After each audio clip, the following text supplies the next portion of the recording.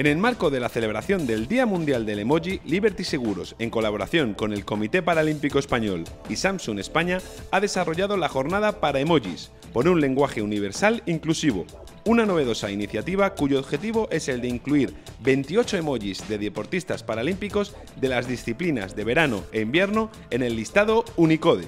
De esta manera se busca superar el límite del lenguaje universal y lograr una diversidad real en nuestra sociedad, como explica Álvaro Ferrol, responsable de patrocinios y responsabilidad social corporativa de Liberty Seguros. Principalmente el objetivo es doble. En primer lugar, eh, lo que pretendemos es eh, que los paramojis eh, consigan que sea una, diversidad real el uso del paramoji y también el segundo objetivo sería esa universalización del lenguaje del paramoji eh, para que todos los deportistas olímpicos y paralímpicos puedan utilizar en sus dispositivos móviles los, los La cita, que ha tenido lugar en la sede del Consejo Superior de Deportes, ha contado con la presencia de Alberto Jofre, director del Comité Paralímpico, Francisco Ortiguela, director de Ciudadanía Corporativa y Relaciones Institucionales de Samsung España, Jesús Celada, director de Políticas de Apoyo a la Discapacidad del Ministerio de Sanidad, Consumo y Bienestar Social, y un buen ramillete de nuestros deportistas paralímpicos.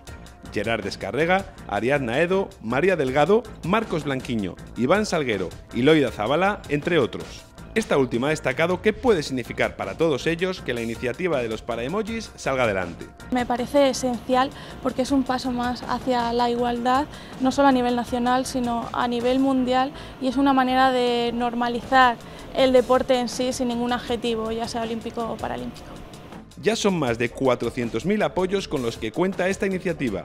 Esto pone de manifiesto la necesidad real de lograr la inclusión de los emojis del deporte paralímpico en nuestros smartphones y, en definitiva, en nuestras vidas.